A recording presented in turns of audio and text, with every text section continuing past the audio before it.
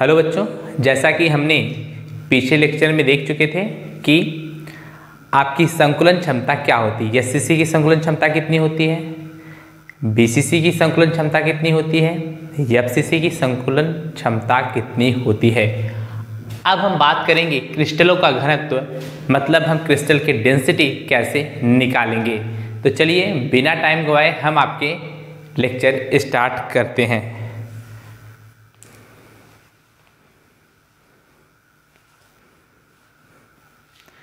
तो सबसे पहले यदि हम बात करें कि आपने पढ़ा होगा कि हम जानते हैं कि द्रव्यमान बराबर द्रव्यमान बराबर आयतन गुड़े घनत्व होता है। यदि यहाँ से हम घनत्व निकालना चाहें यदि यहाँ से हम क्या निकालना चाहें, आपका घनत्व निकालना चाहे तो क्या होगा आपका? द्रव्यमान बटे क्या होगा? तो आपको क्या होगा? द्रव्यमान बटे आयतन होगा। तो हम किसकी बात कर रहे हैं? हम बात कर रहे हैं एकक कोष्ठिका का घनत्व। यदि हम बात करें एकक कोष्ठिका का घनत्व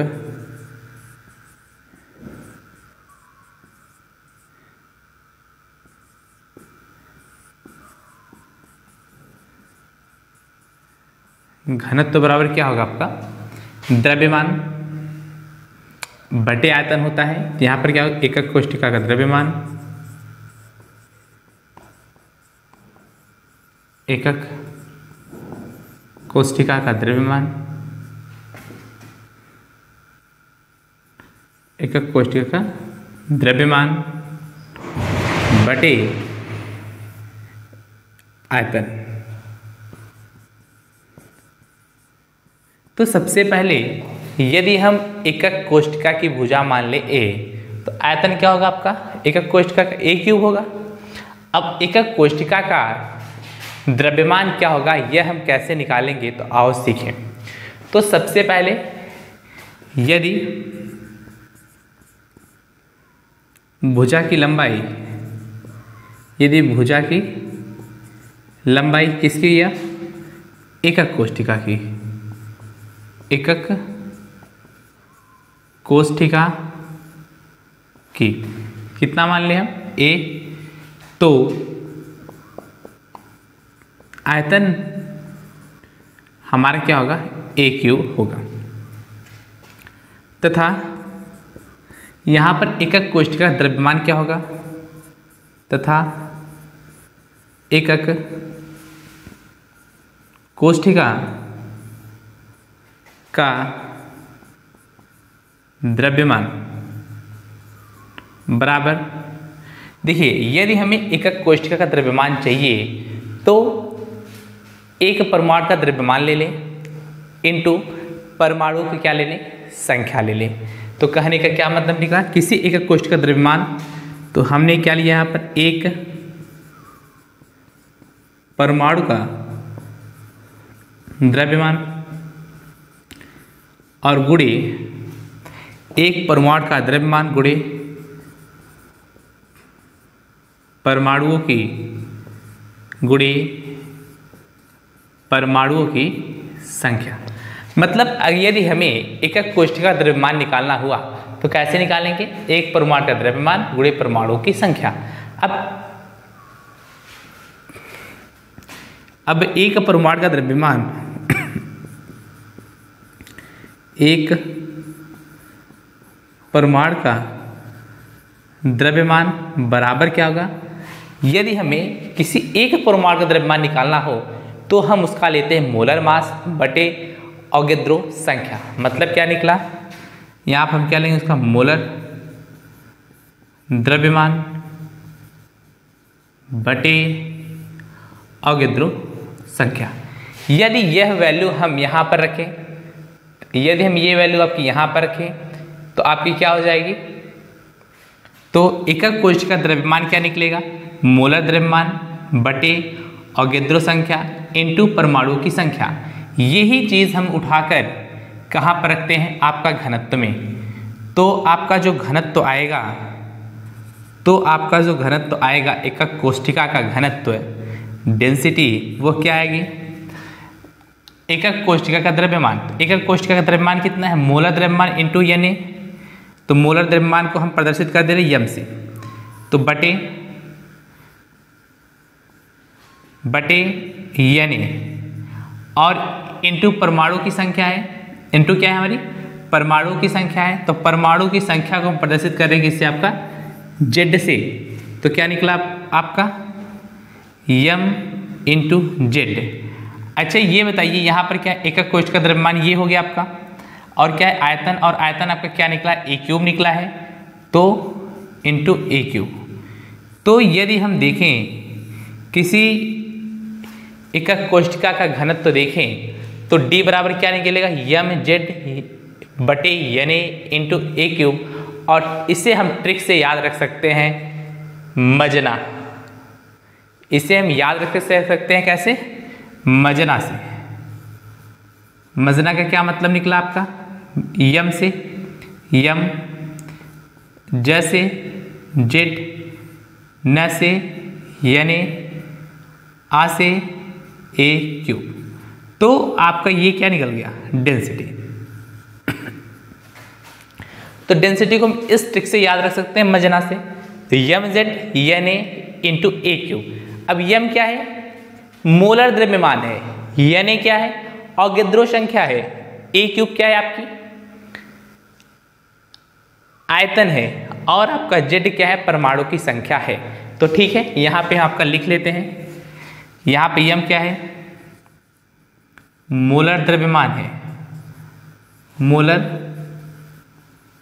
द्रव्यमान है। जेड क्या है?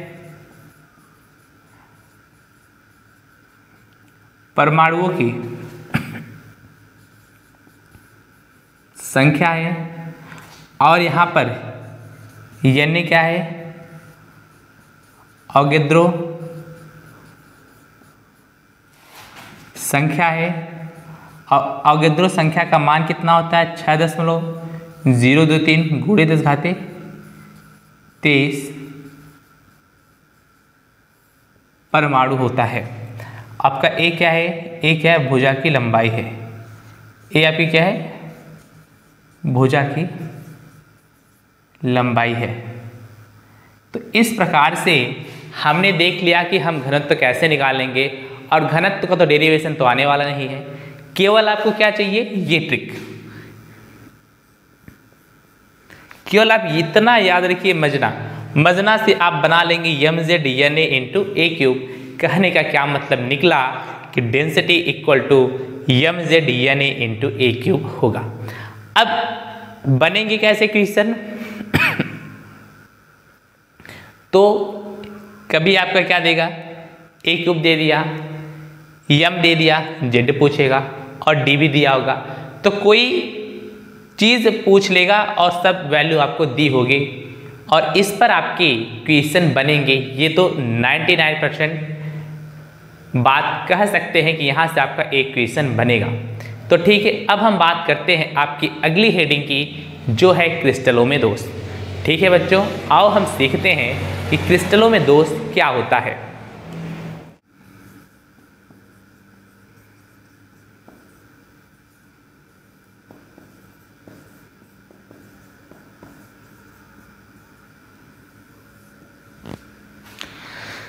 यदि हम बात करें क्रिस्टलों में दोष की तो जैसे कोई भी क्रिस्टल होगा, यदि उसके अवयवी कण अपने जालक बिंदु पर व्यवस्थित होंगे, बने रहेंगे तो उसे हम कहते हैं आदर्श क्रिस्टल।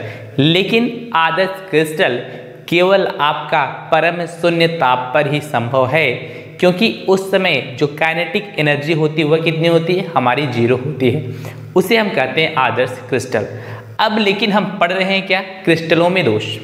तो क्रिस्टलों में दोष क्या है? जब हम किसी क्रिस्टल को गर्म करते हैं, या जब हम किसी क्रिस्टल में अशुद्धियों को मिलाते हैं तो हम देखते हैं कि अवयवी जो कण हैं, उनके जालक बिंदुओं पर कुछ, उनके जालक बिंदुओं पर कुछ विस्थापन देखने को मिलता है। कुछ विस्थापन देखने को मिलता है तो उसे हम कहते हैं क्रिस्टलों में दोष। हाँ थोड़ा रोक दो दोस्त। अच्छा इंक पट्टी का ठीक है बच्चों हम बात कर रहे हैं अब आपकी क्रिस्टलों में दोष। कि क्रिस्टल में दोष क्या होता है? Defect in crystal. तो सबसे पहले हम आपको बताएँ कि आपकी क्रिस्टल क्या होता है? मतलब कि आदर्श क्रिस्टल क्या होता है? तो आदर्श क्रिस्टल हुआ क्रिस्टल होता है जिसमें अवयवी कण अपनी जगह पर बने रहते हैं। लेकिन यह आपका संभव ही नहीं है, क्योंकि यह आपका बनेगा तो परम शून्य ताप पर बनेगा, क्योंकि उस समय जो काइनेटिक एनर्जी होती है, वह हमारी क्या होती है? ज़ीरो होती है। अब हम पढ़ रहे हैं आपका क्रिस्टलों में दोष। तो क्रिस्टलों में दोष होता क्या है? और सीखें। जब हम किसी क्रिस्टल को गर्म करते हैं, या जब हम किसी क्रिस्टल में कोई अशुद्धि मिलाते हैं तो अवयवी कण अपनी जगह छोड़ करके अंतराकाश में चले जाते हैं। या तो अवयवी कण अपनी जगह को छोड़ करके क्रिस्टल से बाहर चले जाते हैं। या कोई आपका आयन किसी दूसरे आयन को विस्थापित कर देता है। या इस प्रकार की घटनाएँ देखने को मिलती हैं। तो इसे हम कहते हैं क्रिस्टलों में दोष कहते हैं। तो कहने का क्या मतलब निकला? क्रिस्टलों में दोष? जब हम किसी क्रिस्टल को, जब हम किसी क्रिस्टल को, जब हम किसी क्रिस्टल को गर्म करते हैं या उसमें या उसमें अशुद्धियाँ, या उसमें अशुद्धियाँ मिलाते हैं तो जालक बिंदु पर मौजूद तो जालक बिंदु पर उपस्थित।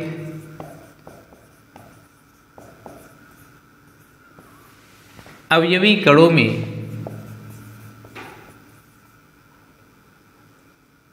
उपस्थित। अवयवी कणों में विचलन देखने को मिलता है। विचलन।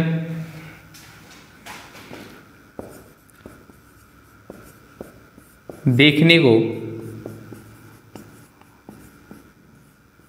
मिलता है, जिसे क्रिस्टल में दोष कहते हैं। जिसे क्रिस्टल में दोष कहते हैं। क्रिस्टल में दोष कहते हैं, ये बात हमने सीख लिया। अब हम बात करते हैं कि क्रिस्टल में कितने प्रकार के दोष हो सकते हैं। क्रिस्टल में आपके यदि हम यूपी बोर्ड के हिसाब से बात करें तो आपके तीन प्रकार के दोष हो सकते हैं। तो कौन कौन आओ इसे हम देखें। एक होता है आपका रस समीकरण मिति दोष, जिसको हम स्टाइकियोमेट्री दोष कहते हैं। और एक होता है आपका अरस समीकरण मिति दोष, जिसको हम नॉन स्टाइकोमेट्री दोष कहते हैं। और एक होते हैं आपके अशुद्धि दोष। तो इन तीन दोषों के बारे में हम बात करेंगे। और सबसे ज़्यादा इंपॉर्टेंट की बात करें तो रस समीकरण मिति दोष होता है, जहाँ से हर साल आपके क्वेश्चन पूछे जाते हैं।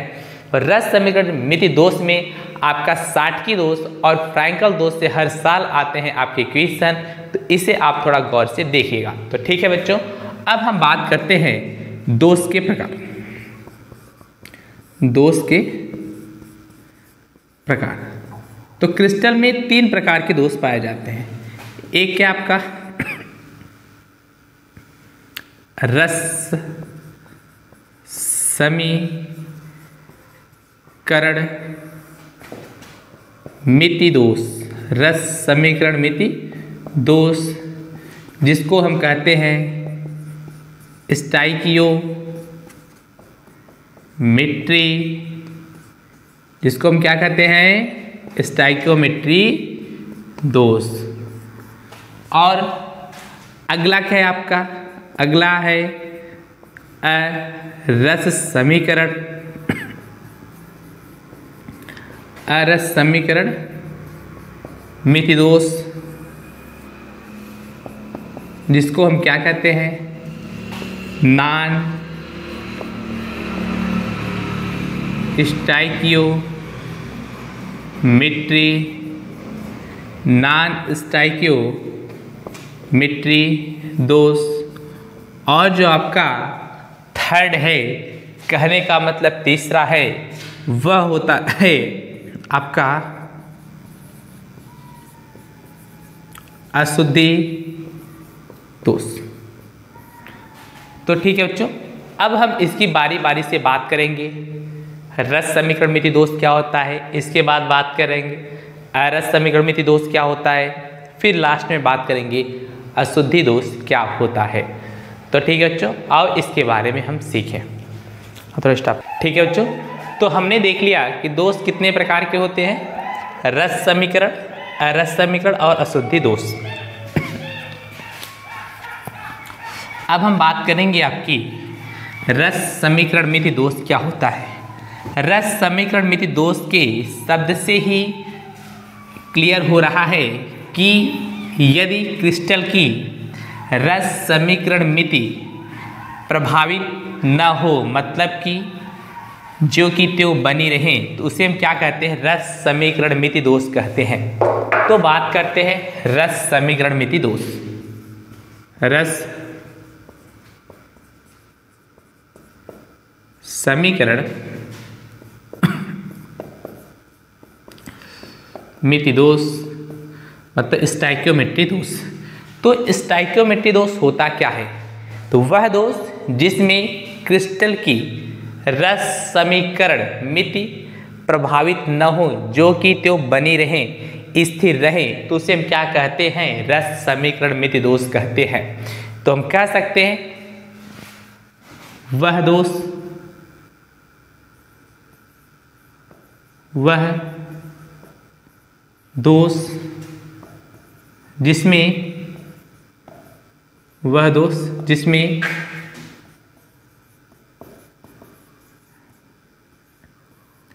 क्रिस्टल की रस समीकरण मिति वह दोष जिसमें क्रिस्टल की रस समीकरण मिति स्थिर रहता है। स्थिर रहता है अर्थात धनायन तथा ऋणायन का अनुपात सदैव स्थिर रहता है। तो उसे रस समीकरण मिति दोष तो उसे रस समीकरण मिति मतलब स्टाइकियो मिट्री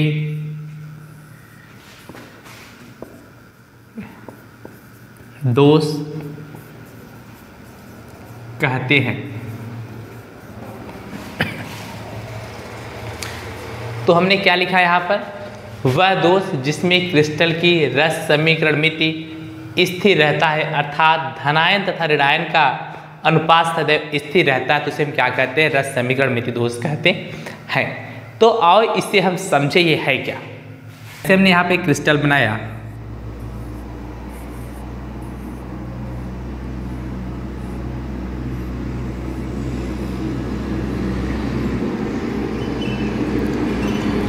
और ये जालक बिंदु पे माना क्या आपका ए प्लस है।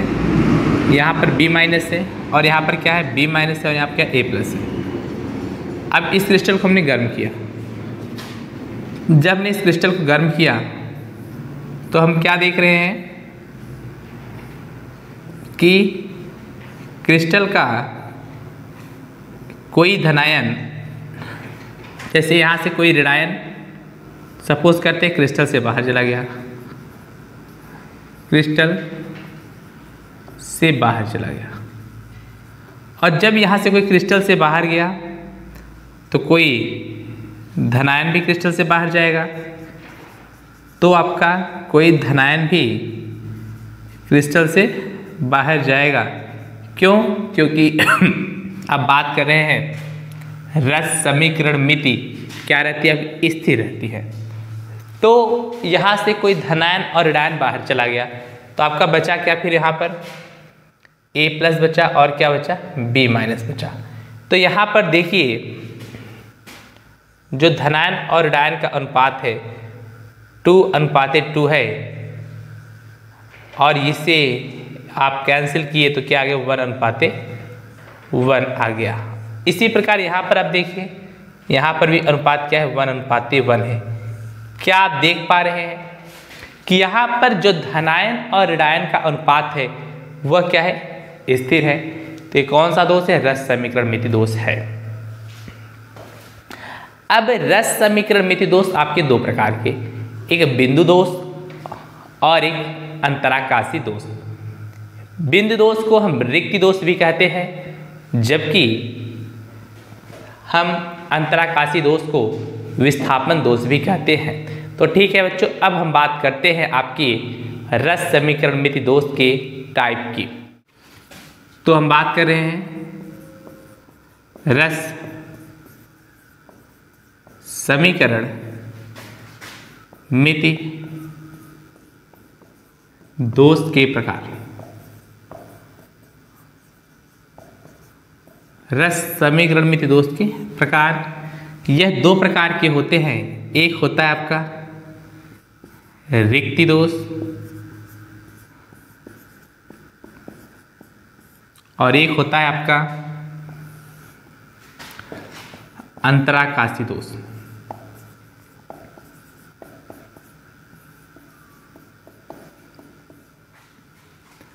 अब रिक्ति दोष क्या होता है? जैसे कि आपका कोई क्रिस्टल है।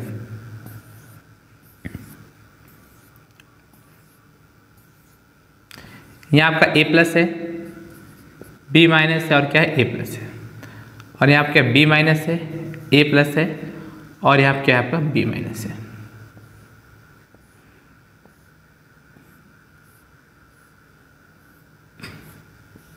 यदि यहाँ पर हम देखें कि धनायन और ऋणायन का अनुपात कितना है तो एक, दो, तीन, धनायन रहा, एक दो, तीन ऋणायन मतलब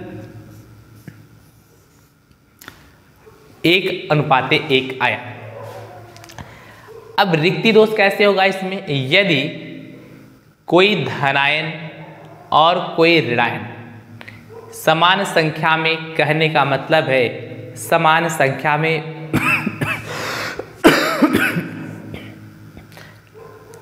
रिक्त दोष कैसे होगा? यदि समान संख्या में धनायन और ऋणायन क्रिस्टल को छोड़कर क्रिस्टल से बाहर चले जाएँ तो उसे हम क्या कहेंगे? रिक्ति दोष कहेंगे। जैसे कि, अब हम आगे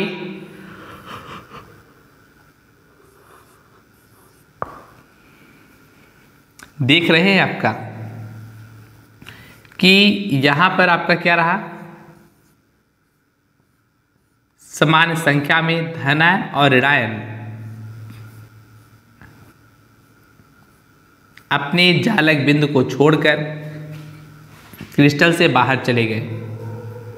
ए प्लस बी माइनस माना ए प्लस क्रिस्टल से बाहर चले गए। बी माइनस ए प्लस और बी माइनस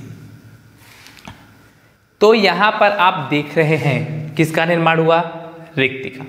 तो कौन सा दोष? रिक्ति दोष। कैसे?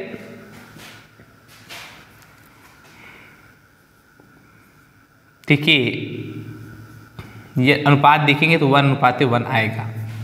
तो यहाँ पर और यहाँ पर क्या आपका समान है तो क्या रहा? रिक्ति दोष रहा। तो हम क्या कह सकते हैं रिक्ति दोष के लिए? वह दोष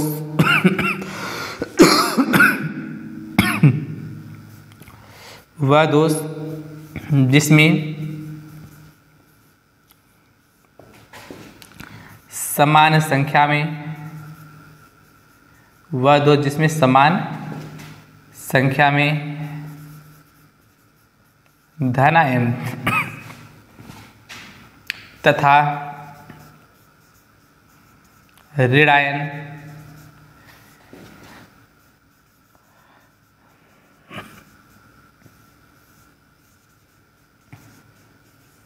क्रिस्टल जालक को छोड़कर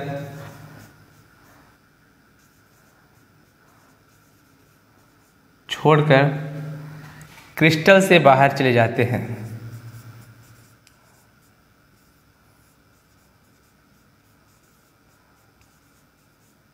क्रिस्टल से बाहर चले जाते हैं।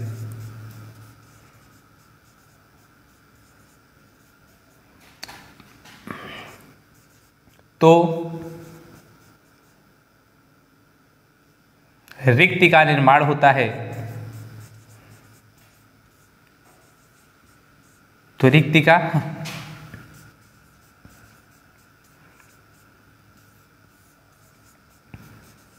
निर्माण होता है,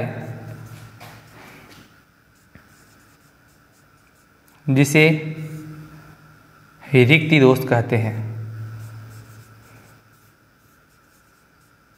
जिसे रिक्त दोष कहते हैं। तो ये रहा आपका रिक्त दोष क्या होता है, उसके बारे में आपने सीखा। अब बात करें अंतराकाशी दोष क्या होता है। तो वह दोष जिसमें धनायन अंतराकाश में प्रवेश कर जाता है, उसे हम क्या कहते हैं, अंतराकाशी दोष कहते हैं। तो आपके मन में एक क्वेश्चन उठ रहा होगा हमने धनायन कहा ऋणायन क्यों नहीं कहा? तो ऋणायन हमने इसलिए नहीं कहा कि ऋणायन का आकार धनायन की तुलना में बड़ा होता है। और अंतराकाश में जो जगह उतनी सफिशियंट नहीं होती, सामान्यतः कि वह आपके अंतराकाश में जा सके।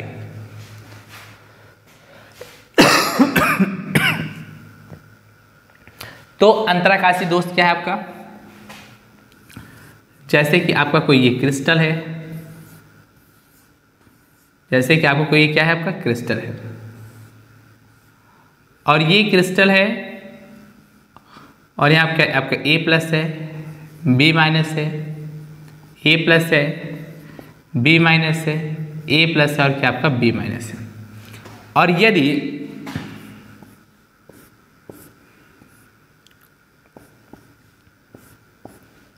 यहाँ से कोई धनायन कहाँ पर प्रेस कर जाए? अंतराकाश में प्रवेश कर जाए। तो इसे हम क्या कहते हैं? अंतराकाशी दोष कहते हैं।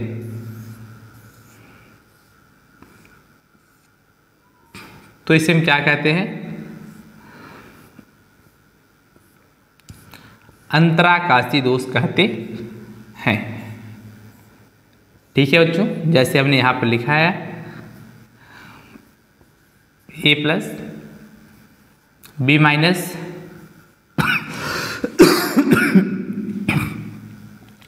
A plus B minus A plus और बी माइनस तो ये रहा आपका अंतराकाशी दोष का एग्ज़ाम्पल इस प्रकार से आप अंतराकाशी दोष को बता सकते हैं। तो कहने का मतलब क्या है? इसे लिखेंगे कैसे? वह दोष जिसमें जालक बिंदु पर मौजूद, जालक बिंदु पर उपस्थित धनायन, जालक बिंदु पर उपस्थित धनायन। क्रिस्टल के अंतराकाश में प्रवेश कर जाते हैं। क्रिस्टल के अंतराकाश में, क्रिस्टल के अंतराकाश में, प्रवेश कर जाते हैं। तो उसे अंतराकाशी दोष कहते हैं। तो ये आपके दो दोस्त रहे, अंतराकाशी दोष और आपका रिक्ति दोष लेकिन रिक्ति दोष को सामान्यतः हम साठ की दोष कह सकते हैं और अंतराकाशी दोष को हम क्या सकते हैं, फ्रैंकल दोष कह सकते हैं। तो आपके एग्ज़ाम में, इस बार यूपी बोर्ड में लिख कर रख लीजिए कि फ्रैंकल दोष और साठ की दोष में अंतर आने वाला है। तो ये पक्का का पक्का आएगा। और वो आपके होंगे दो नंबर के। तो इसे आप ज़रूर तैयार करके जाइए साठ की और फ्रैंकल ठीक है मेरे डियर स्टूडेंट आपसे एक हमारा अनुरोध है कि यदि आपको वीडियो पसंद आई हो तो अपने दोस्तों में इसे शेयर करें और ज़्यादा से ज़्यादा आप लाइक कीजिए और आप कमेंट बॉक्स में जो भी आपको डाउट्स हो, आप उसे ज़रूर पूछें। ठीक है, हम मिलते हैं अगले वीडियो में। जय हिंद, जय भारत।